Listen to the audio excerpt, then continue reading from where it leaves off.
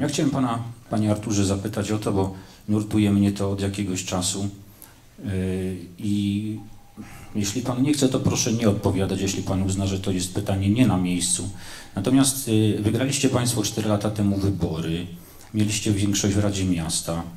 Yy, I w tej kampanii również podkreślaliście Państwo, że razem z mieszkańcami możemy wszystko zrobić. Obsadziliście Państwo swoimi ludźmi i stanowisko przewodniczącego, wiceprzewodniczącego, przewodniczących wszystkich komisji. Jakoś nie było to razem i nagle gdzieś to wszystko prysło i wspólnie dla Ustronia się rozpadło. I chciałbym się zapytać, czy co było przyczyną tego? Jeśli Pan nie chce, proszę mi nie odpowiadać, bo wiele wartościowych osób odeszło z Państwa stowarzyszenia w trakcie kampanii. I czy nie obawia się Pan, że historia się może powtórzyć? E, o odpowiedź poproszę Pana Artura Kluza. Oczywiście. Myślę, że stowarzyszenie, o którym Pan mówi, wspólnie dla Ustronia e, ma się dobrze. Stowarzyszenie przede wszystkim nie powstało dla kampanii wyborczej, tylko powstało dużo, dużo wcześniej i realizuje wiele zadań. Wiele zadań spójnych również e, z naszym miastem, z funkcjonowaniem tego miasta.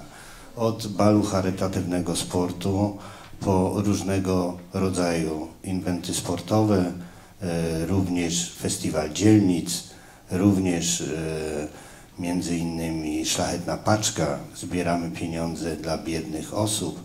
Natomiast e, jesteśmy nadal jednością.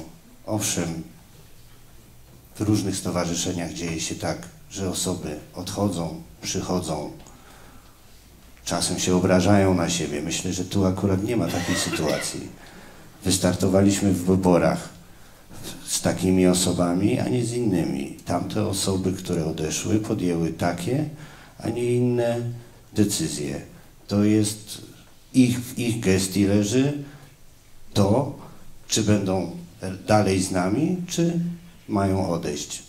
Ta sytuacja akurat jest w tej chwili taka, że odeszły owszem ze stowarzyszenia, ale nadal przecież wspólnie podejmujemy decyzje w Radzie Miasta, nadal jesteśmy kolegami, nadal ze sobą rozmawiamy, także to nie jest tak, że stowarzyszenie się rozpadło, nie rozmawiamy ze sobą.